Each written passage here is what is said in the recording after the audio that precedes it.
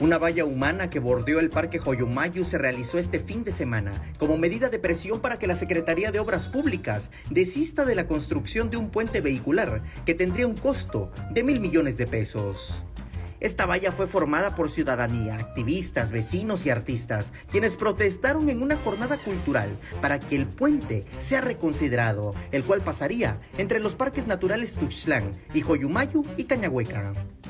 Pero esta protesta fue diferente, desde la cultura, en medio del primer festival de gráfica monumental, donde decenas de artistas crearon megagrabados. En este caso estamos pidiendo que la ciudad se vuelva más amistosa con, los ciudadanos y menos agresiva con ellos mismos porque se está queriendo pues hacer una ciudad de vehículos, no de gente. Entonces, eh, como tenemos esas dos preocupaciones, que el arte tome un lugar en la sociedad y que la ciudad se vuelva una cuestión también artística en el sentido de que se vuelva más habitable.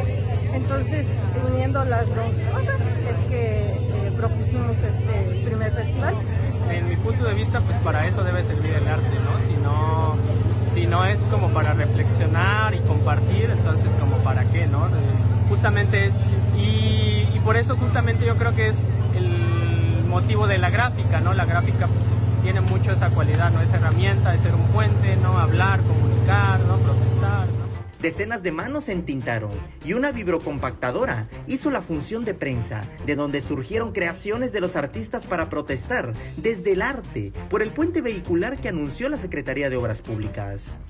Posteriormente, la ciudadanía pudo apreciar una galería al aire libre colgada del puente del reloj floral.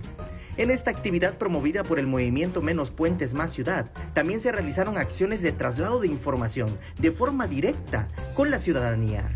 Samuel Revueltas, Alerta Chiapas.